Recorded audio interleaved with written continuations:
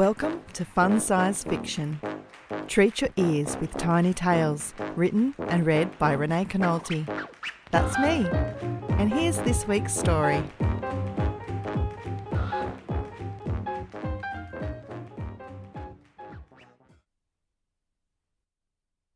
Sing loud, sing proud.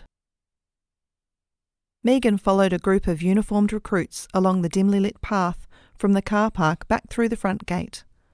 Her military spouse ID had come in handy this morning, allowing her to park on the base rather than near the local shops the next street over. She accepted a copy of the order of service from the airman greeting the Anzac Day service attendees.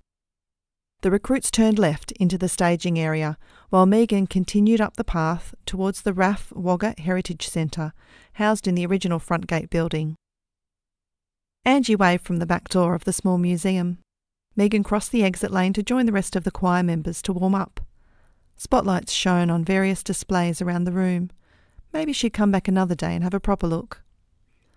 I know this is a solemn occasion, but make sure you smile while you're singing. Smiling will lift your soft palate and help you hit those high notes. Angie smiled encouragingly. And think about landing on the notes rather than reaching for them. It might sound silly, but mindset helps. It wasn't the high notes Megan was worried about. It was all those silhouettes gathered under the gum trees she'd passed earlier. Danielle wasn't here to support her. Her presence, along with the rest of the trainees, had been required at another service. Strangers were all she had, people she'd never met listening to her. The only consolation was they'd hardly be able to see her, dressed in black in the pre dawn light. Her boots clicked on the paved path as Megan followed the other women past the dais to the microphones set up on the far side. The Australian flag hung at half mast to their left, and the bagpipe player stood solemnly behind them. Gathering into a semicircle around the two microphones, they waited for the service to start. Papers rustled in nervous hands, feet shuffled in the grass, magpies warbled their morning song, and a lone kookaburra laughed from high above them. Megan's eyes adjusted to the dim light, though the crowd remained faceless. The service began. The catafalque party slow marched past, close enough to touch, and took their places at the corners of the cenotaph, eyes downcast and rifles at rest. A prayer, a reading, an address, then it was time to sing. The women shuffled closer to the microphone as the Australian Military Wives Choir were introduced. The knot in Megan's stomach tightened. What was she doing? This whole thing seemed surreal. She'd never been to a church service before, let alone a dawn service. She hated public speaking, but she'd run out of time to panic.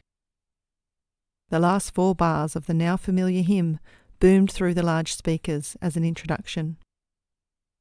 The opening note swelled inside her, and Megan's voice blended seamlessly with the other women. Abide with me, fast falls the eventide. She glanced down at her torchlit order of service, double checking the words for the next line. The darkness deepens, Lord, with me abide. Megan's senses sharpened as she became fully present in the moment the subtle lightening of the sky as the sun neared the horizon, chasing away her fear. When other helpers fail and comforts flee, the knot in her stomach unravelled. Help of the helpless, oh abide with me. The final verse ended, the sound echoing for a moment. Megan couldn't keep the grin from her face. Her whole body hummed. She glanced behind her as the piper began to play. She'd always thought bagpipes sounded like a cat in considerable pain, but this was something else. The high, reedy sound, combined with the deeper droning bass, sent a shiver down her spine. She turned back to face the cenotaph and watched as wreaths of colourful flowers and sprigs of rosemary were laid at its base. Her voice joined with those of the crowd as they responded to the ode. We will remember them, lest we forget. The haunting notes of the last post filled the air. Megan's mind wandered to the shores of Gallipoli, the sacrifices made so that she could be here, in this moment, in this life. A baby's cry broke the minute of silence, a reminder of why the war was fought rather than an interruption. The bugle began again, rousing her back to the present, a cue to prepare for the next song. The Australian national anthem.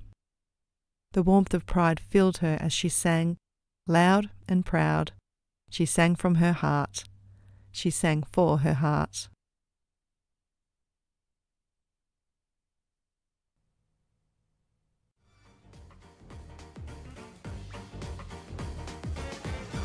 Thanks for listening. If you enjoyed this story, hit subscribe so you don't miss my next fun size fiction. You can find out more about me and my writing on my website, heysaidrenee.blogspot.com.